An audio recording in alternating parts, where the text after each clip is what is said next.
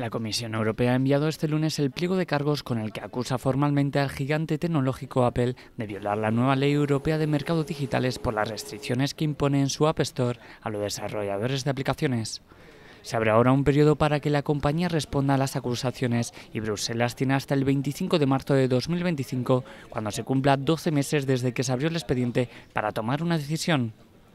De confirmarse las acusaciones, el Ejecutivo Comunitario podrá entonces imponer multas de hasta el 10% del volumen de negocio mundial de Apple en una primera infracción y de hasta el 20% en caso de reincidencia. Además de esta acusación, los servicios comunitarios han anunciado también un tercer expediente contra la compañía para investigar los nuevos términos contractuales que impone a los desarrolladores y tiendas de aplicaciones para acceder a algunas de las nuevas condiciones que impone la regulación comunitaria. De esta forma lo ha anunciado la vicepresidenta de la Comisión Europea encargada de competencia, Margrethe Vestager. Recordemos que desde el pasado 7 de marzo los servicios comunitarios imponen el control más estricto a varias grandes plataformas designadas guardianes de acceso a la red por su peso en el mercado digital.